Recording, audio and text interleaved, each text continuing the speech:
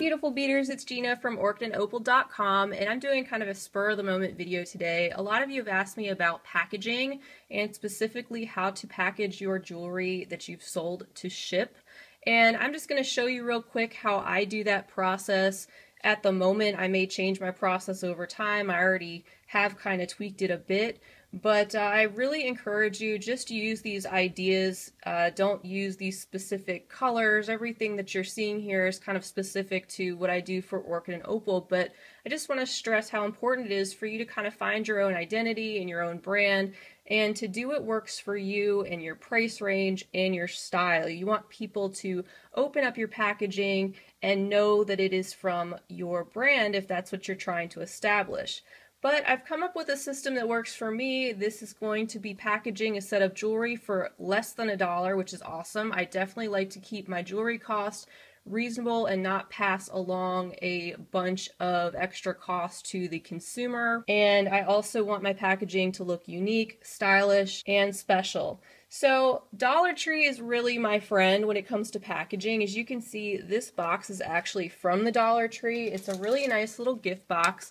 And if you have a Dollar Tree in your location, you could find these probably. These are a pack of three different gift boxes. They're white embossed gift boxes. They're actually really nice. They come in different sizes.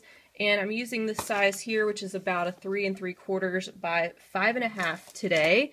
And it just so happens I have a set of jewelry to ship out, so I figured I'd go ahead and just let you guys kind of see the process.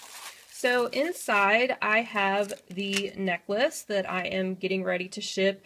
I have tucked the chain behind this little padding that comes with the box. Each box comes with the little padding. It is kind of thin, but it still definitely works, and it's definitely a great price at 33 cents a box is what it comes out to. Then I have a set of earrings that went with the necklace, and I'm going to take this out real quick so you can just take a look. These cards I've shown you before, but you can get them on Amazon. I will leave links to what I can down below the video in the information section if you're curious. But uh, these are actually just like gift tags, and I use a 1 16th inch hole punch that I also got on Amazon to punch these little holes in the tops of the tags that are perfect for earrings.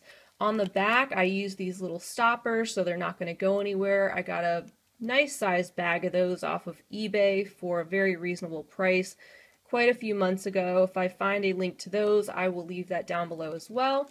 And then just for an extra layer of protection in the box, I go ahead and put my earrings in a, another plastic bag, which we're talking costs pennies. This is like a 3 by 4 inch little plastic bag.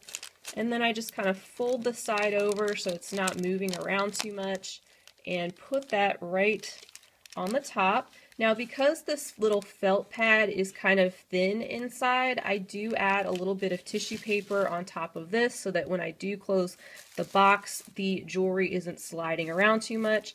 So this is just basic white tissue paper, and again, Dollar Tree. You can find this in packs of 35 for just a dollar, so we're talking like three cents a sheet. So just folded that up perfectly to fit inside the box and just kind of tucking it in so that my jewelry isn't go, going to go sliding around everywhere. Then something I do to kind of personalize the box is way back when I had purchased a self-inking stamp on Vistaprint.com. This is my logo that I created myself on my computer and I was able to upload it to Vistaprint.com. That's something you'd be able to do if you're interested. I've found that it's a lot more cost effective than buying sheets of labels or continuing to print out labels. It just works for me. This has lasted forever and it's still very saturated. The whole point is I just want that graphic the orchid, the handmade Richmond, Virginia to show up on the top of the box because nobody's going to sit there and look at it too long. But if they look at this, they know, okay, that's from Orchid and Opal. And it just makes the box a little bit more special than just a plain white box. So I'm going to close that up. The other thing I like to do is always, always include a personalized note from me. And here again, Dollar Tree has a great selection of note cards. These are the ones that I love to use. They just kind of reflect my personal style, and I think they're so cute. but they sell different designs. There's packs of six note cards, which they end up coming to about 17 cents per card. And I just write a personalized thank you note expressing my thanks for the customer's purchase because I think that's so important when it comes to a handmade small business that you really show your appreciation that way. So I have my card all filled out and tucked in here. And then on the front of it, I have handwritten the customer's name. And once again, I do want to stress, find your personal style because that's what's going to make it special for customers. And it's going to make them really excited to get something from you and they can identify it as your brand. So this is the card that I have. And so pretty much this is what's going to go inside the bubble mailer. Now the bubble mailer that I use is also something that's kind of a uh, little bit extra than just your basic yellow bubble mailer, which would be totally fine as well. But I just decided to get these purple mailers because they kind of fit my brand and also, I find that, you know, when the customer goes to the mailbox and sees that purple bubble mailer, they're going to be really excited and even more excited to open up their shipment.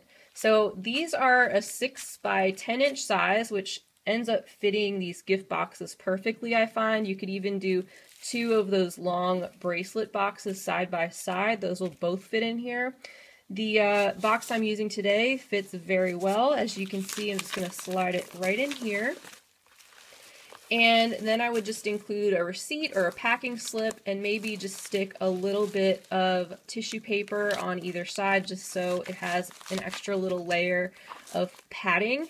But these bubble mailers were not that expensive. They come out to be about 34 cents each. I got a 25 pack on Amazon for between eight and nine dollars. Again, I'll leave you that link below. So for everything that you see here, it comes out to less than a dollar. You have your box, you have your tissue paper, you have your card, the bubble mailer, and that doesn't include the cost of the stamp because over time I'm going to be using that hundreds of times and it's a few cents. You have your earring card and the little plastic bag that went inside. And for just a dollar, you can really come up with a stylish way to package and ship your jewelry. It doesn't have to be that complicated. It's really not that hard. Just find a style that works for you and find a system that works for you. Try to source items that are easy for you to get and replenish if you need to. One other thing I want to mention before I let you go is that another item that I got on Vistaprint.com that I love are these personalized labels. And I already said that I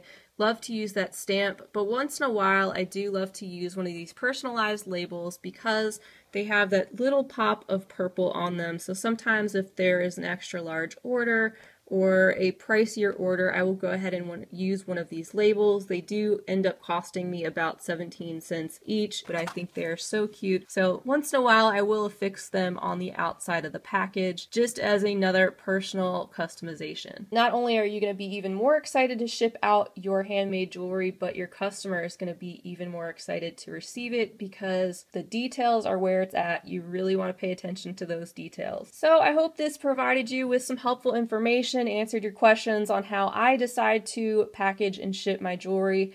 Please let me know down below if you have any questions or comments. I'd love to hear from you. I will definitely be back soon with more tutorials, jewelry subscription unboxings, and finished jewelry updates. Hope you guys have an absolutely wonderful day, and as always, happy beading. If you enjoyed this video, I'd love you to give it a thumbs up. Don't forget to subscribe and hit the bell if you'd like to see more of my videos, and check out the video description section to follow along on all of my social media handles and check out my new website and blog at orchidandopal.com. Thanks for watching!